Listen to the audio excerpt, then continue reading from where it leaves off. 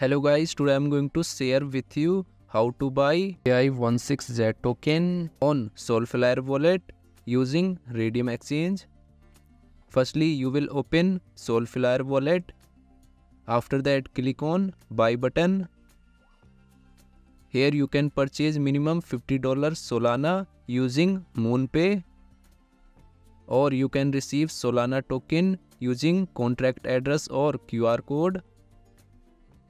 After that, click on this icon. And here you will search raydium.io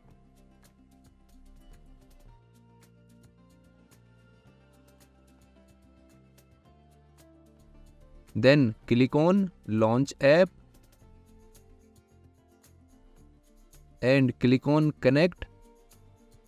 So Solflare wallet has been successfully connected from Raydium Exchange.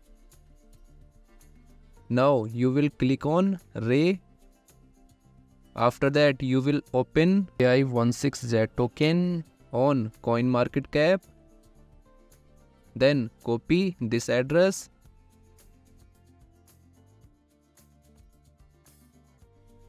and paste here.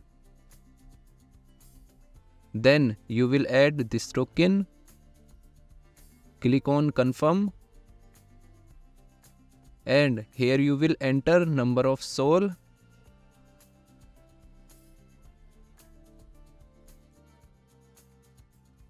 So here you can check token transaction details.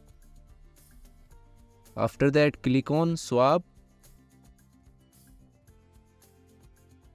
And finally you will do swipe to confirm then you will receive this token successfully on Solflare wallet.